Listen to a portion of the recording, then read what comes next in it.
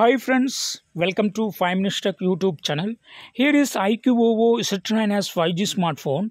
In this video, you will learn how to set up dual PhonePe account, dual PhonePe app in your phone IQOO Z9s 5G. Suppose if you have two numbers and uh, for two different numbers uh, you have bank account and if you would like to use PhonePe two accounts in your phone at the same time yes you can do it. What you have to do you have to set up first two PhonePe account.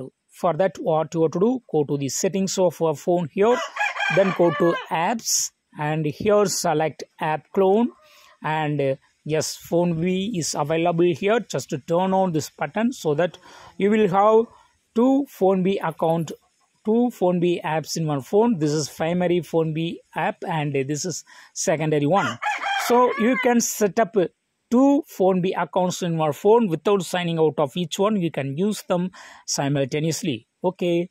That's all friends. If you find this video helpful just consider forwarding our video to your friends and relatives who are searching for two PhonePe accounts usage in their phone. Okay. If you would like to subscribe our channel yes don't hesitate. Just to subscribe uh, now and also forward our channel to your friends and relatives. Bye